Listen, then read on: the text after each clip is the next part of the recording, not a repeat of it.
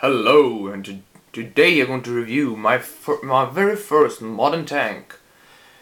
Um, this is the first one I've made in my whole entire life. You know, I'm basically a World War II guy and you know houses, castle, pretty much everything except for this. Uh, but I tried my hands because now coming January, January I will start. I will make uh, a bunch. No, not a bunch actually. Four apocalypse scenes. It will be on the large grey base plate I think I will make about four and I needed a tank for it. I know I've already ordered the body armor for the figures and really needed a tank. So hey, one build one. so here it is. I think it looks uh, very nice. It's um, you know a great inspiration source was Andrew Somers, which is, um, honest opinion, the best modern tank builder on the whole internet. Check him out. Uh, oh, what the fuck? I'll put a link in the description to his to his Flickr. Um, you will be amazed. His tanks are just stunning. Um, yeah, let's start. I don't know where to start. Maybe take it as ordinary. Just take the front. Here's the front. Um, it's just nothing really special. Uh, the mod guards, yeah, nothing, nothing really much to it. Uh, the sides, we have uh, the side skirts here, and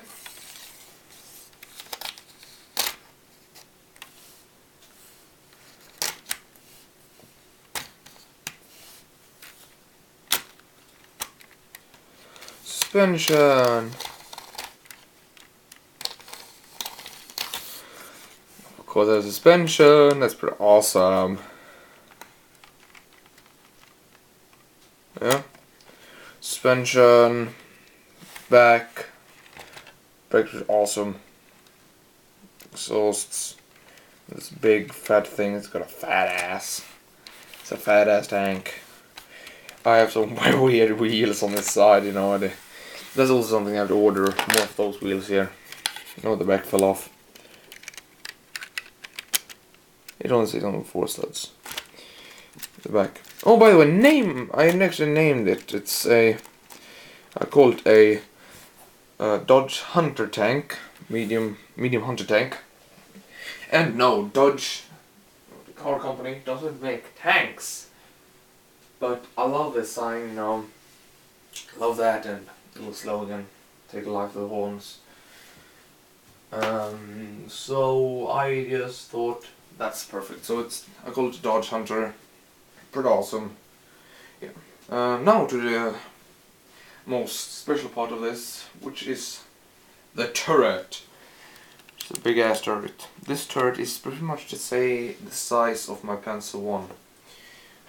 it's extremely big. and the gun barrel it moves up and down and shoot your ass off.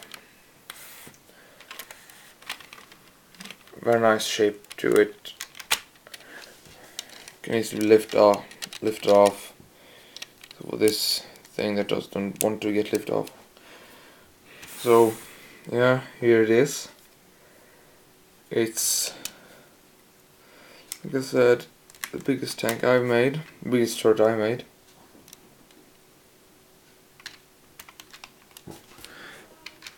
Yep. And it has an opening hatch. Right there. It opens when it really feels for opening. So that doesn't open, just for looks. Machine gun runs, runs all the ways. The Browning. And those hatch it's got three hatches in the back. Right there. More here. Yeah pretty lame review. Sorry for that, guys. Um, yeah, that is pretty much it for this review, my first modern tank review, and I have my table here just because my um, ordinary little film studio photo taking setup was too small. yeah, I hope you enjoyed this, and goodbye.